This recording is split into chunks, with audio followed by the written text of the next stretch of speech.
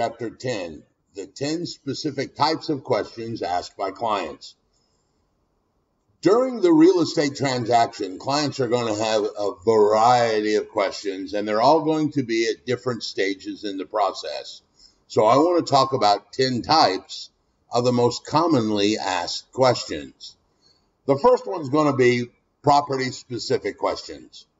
What's the square footage of the property? Can you provide me more details? So, answering property specific questions involves a detailed understanding of the listed property, whether it's yours or you're working for the buyer. You guys need to be prepared to discuss the features, the layouts, any unique aspects that may appeal to the client. So I encourage you to get a deep understanding of all of these features, like the layout, all these key points. A key point to remember is to communicate the lifestyle potential of this property as well. Go beyond just the basic facts and figures of that. The second question is going to be a pricing or a market question. Well, how did you arrive at that suggested list price for my home? What's the current market trends? Pricing and market questions require you as a practicing professional to provide insights to what's going on in that local market area right now. This includes understanding the uh, comps that are in the neighborhood, uh, understanding the current market condition. You may even have to justify your pricing decision by using this data. Remember, you've got to confidently communicate your pricing strategy, providing clients with a clear rationale on that suggested price. The third type would be negotiation questions, like how flexible is the seller? What are the common points that we can negotiate? So negotiation questions involves preparing clients for a give and take. All right, I want to take a sidebar right here because negotiation, I hear a lot of agents, and this just bugs the crap out of me. So I'm going to get out my soapbox right here and uh, get on my soapbox. Negotiation, I hear agents all the time, well, I'm a good negotiator. You just heard me say that negotiation prepares the clients for the give and take. Dude, negotiation is a give and take. You got to give up something to get something. What I dislike is when a buyer comes in and wants everything at a lower price. That's not negotiating, that's haggling. You know, there is a difference. Haggling is I just want you to give me that or all of that or whatever you said you would give me just at a lower price.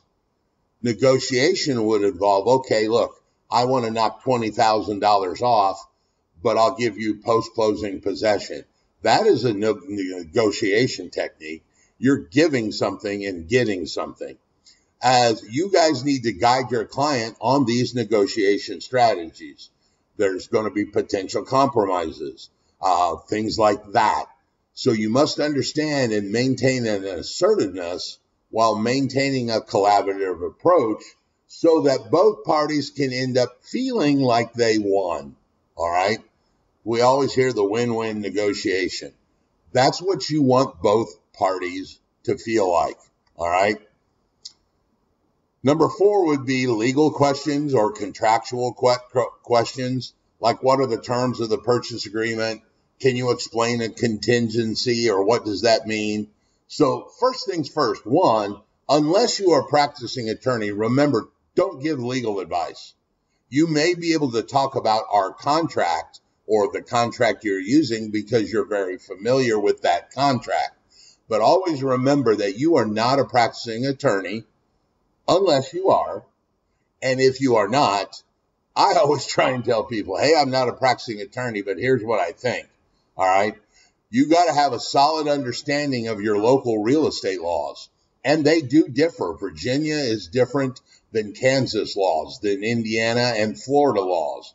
Very similar, but there's a few things. So make sure you understand your local real estate laws so that you can clearly and accurately help navigate that client through this process.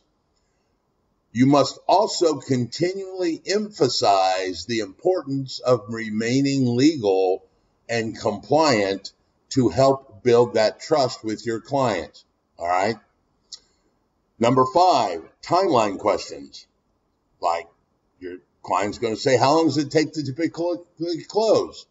What in factors, what factors can influence the closing? So timeline questions involve you managing your client's expectations. You should provide a realistic timeline and consider factors such as market condition, consider financing, consider inspection timeframes or appraisal timeframes. You must maintain a proactive communication to keep your client informed about all of these stages during this time frame or any potential delays that are coming back. You must maintain transparent, and I'm going to add a word here, not in my notes, that is constant contact to help manage your client's expectation. You guys know the number one reason most agents get fired? It's lack of communication. All right. Now, I understand I've been on both sides of this table. I've been buyers agents and uh, listing agents for a long, long time. I have bought and sold houses for my personal use and for investment. So I've been as both sides of the table, meaning the client and, and the agent. You guys need to make sure you maintain contact, dude. Even if you do not have anything to tell them, I would suggest you call your client and go, Hey, it's Friday. I'm calling you to let you know I don't have anything new to tell you, but I just wanted you were on my mind, so I thought I'd reach out to you and let you know that we're still in the same spot we were last week. What happens with us is we assume that they understand the process, and I hear a lot of agents say, "Well, if I had something to tell them, I'd call them." Yeah, but they don't know that. They don't know the process. You may be sitting here going, "Oh, well, it's 20 days to get title work. I know that. I've been doing it 10 years.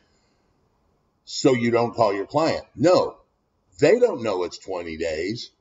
They just think, hey, my agent's forgotten me. I don't know what's going on. I haven't he I haven't heard from him. He's ghosted me. So please, when it comes to the timeline kind of concept and you lay out these timelines, make sure you communicate it and keep track of it and keep contact with them. All right.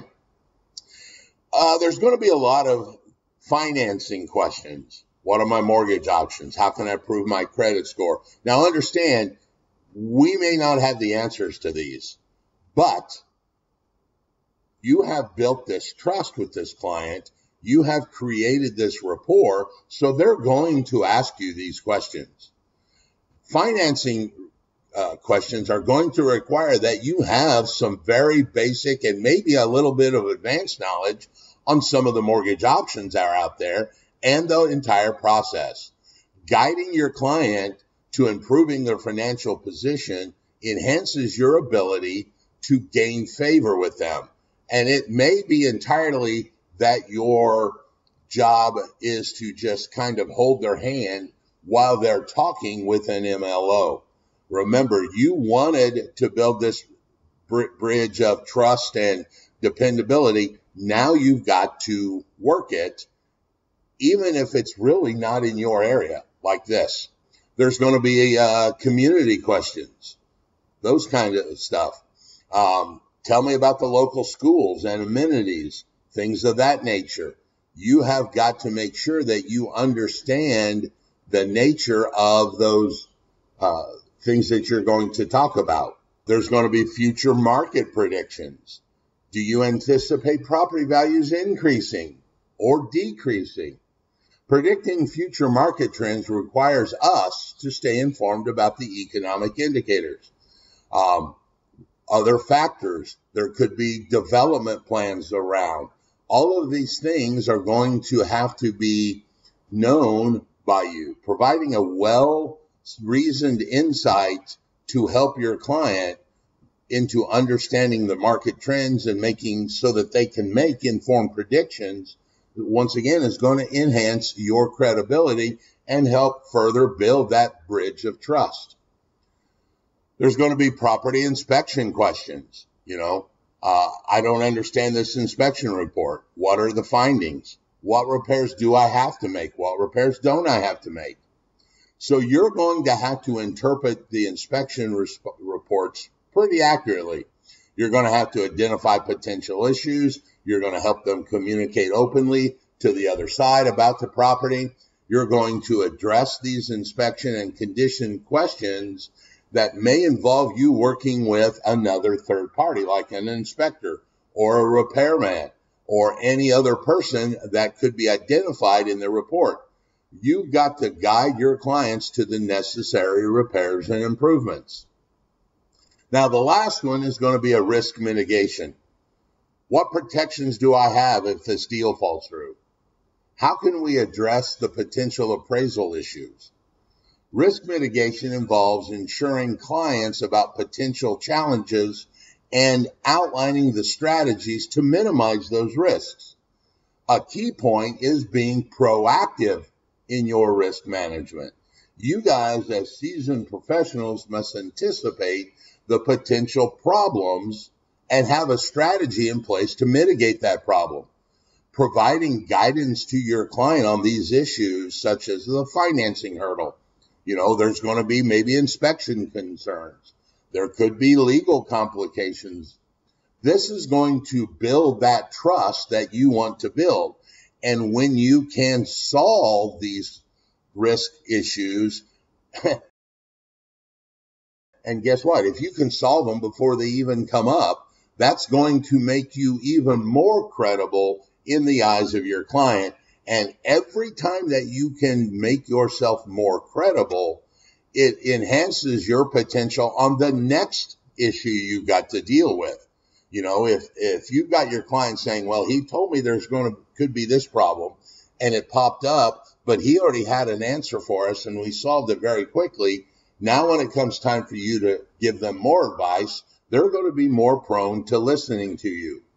So make sure that you understand all of these 10 types of questions so that you can help your client out and ensure a smooth and successful transaction.